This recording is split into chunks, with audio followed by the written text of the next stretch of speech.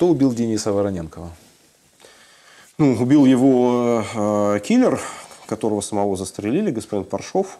Э, заказчик, э, я думаю, что находится в Москве.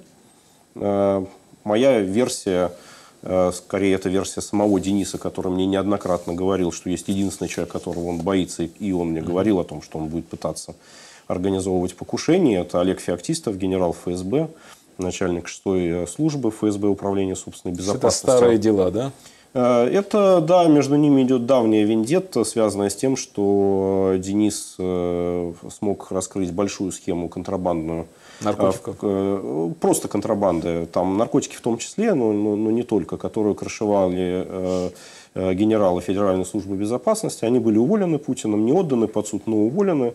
Среди этих генералов был непосредственный руководитель и, так скажем, крестный папа вот этого самого господина Феоктистова. И Феоктистов с тех пор мстит э, Вороненкову в течение многих лет и дважды организовал на него покушение в России. То есть Вороненкова убили не по распоряжению Путина?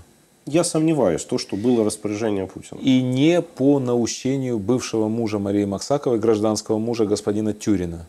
Я не исключаю, что он мог так или иначе в этой истории участвовать, будучи представителем криминальных кругов.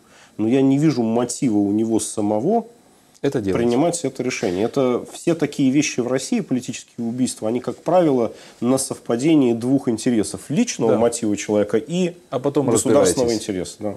Марии Максаковой что-то угрожает? Очень надеюсь, что нет.